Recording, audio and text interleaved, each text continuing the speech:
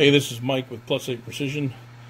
Um, I guess I'll turn this into a quick video on using an edge finder to pick up an edge. I'll try to give you several different views uh, and what I'm doing. Uh, to start, this is 3 eighths with a 200 um, edge shank. I always set the machine up in this case my knee mill, up around a thousand RPM. Some may argue with that. That's what I've been doing for almost 30 years. So I set it up at a thousand RPM. That way it kicks off good. It's easy to see. You won't see it from this view. I'll bring you in from this view and you'll see that part of it. So let me kind of show you. We go through the steps here. Uh, block is already in. It's on parallels. I have access to this edge. I have access to this edge. So this will be my J corner, this back corner. Although I don't really need anything this way, I'm going to mill a through pocket on this block, which will not be covered in this video. But the whole point of this is picking up this edge.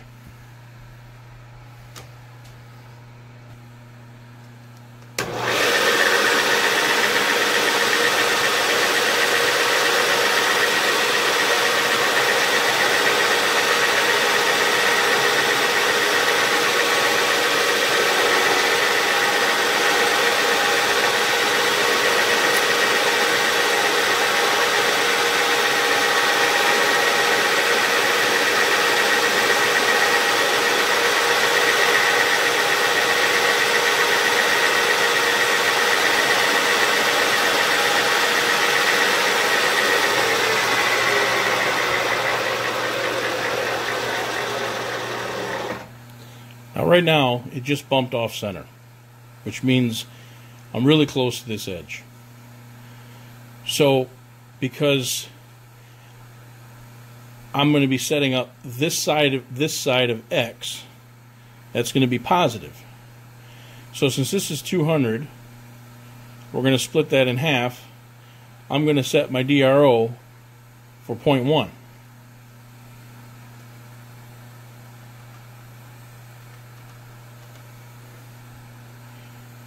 and then I'll move it back to zero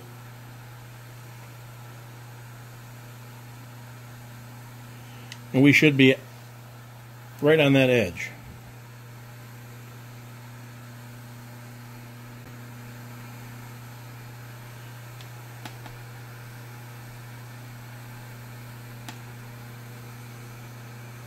I know it's hard to see.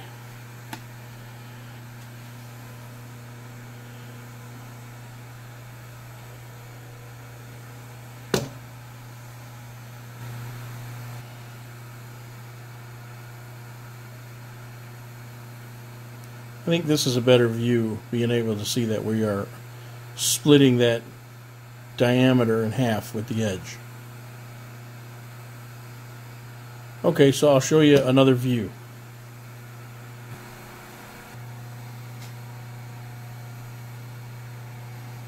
Okay, so from this edge, or this angle, I'm going to show you this edge, and this time you'll be able to see the center finder kick off when I just find the edge.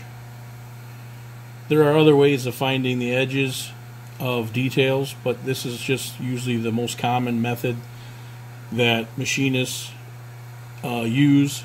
It's quick, it's down and dirty, but there are other more accurate ways. But I'm only covering using an edge finder in this video.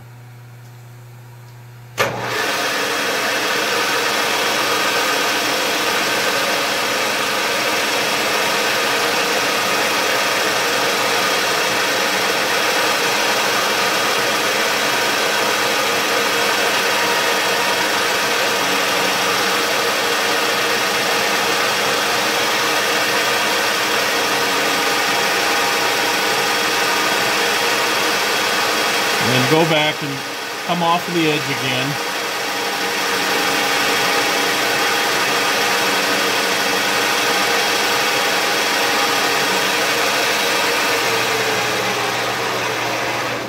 So there we have it. You saw me set the edge from the other angle So I'm going to show you the DRO and what the dimension is. And there's the DRO. I set it at 100 thousandths positive in X. And you can see finding it again, I'm within two tenths of where I was at in the previous uh, view that I showed you. So even though I don't consider this a a 100% highly accurate dimension if you're if you're working in very close tolerances, if you get experience and you can use the edge finder well, it will provide you with very good results and accuracy. All right, that wraps up this video. This is Mike with Plus 8 Precision.